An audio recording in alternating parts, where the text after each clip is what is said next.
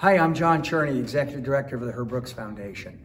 I hope everybody's staying safe and healthy and positive through this pandemic. I just wanted to give you an update on where we are at the foundation.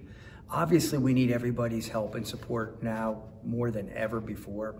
We're going to have our annual golf tournament coming up at the end of July. It's about 80 days from now. Whatever you can do to help us support our kids uh, going forward would be a big deal. Another thing we're going to be doing is we're going to be having custom made Herb Brooks Foundation masks. Everybody's going to need one, and the proceeds will go right for the kids. So whatever you can do to help and pass this video on would be great. Regarding our golf tournament, it's going to be Monday, July 27th at the Victory Links Golf Course. Victory Links is also the site of the qualifier of the 3M Open. So it's a great course, champion level course. Our format will be different this year than it's been in the years past, so stay tuned for more information about that. Whatever you can do to help us would be great. Thanks so much. Stay healthy, stay strong, stay safe, and stay positive.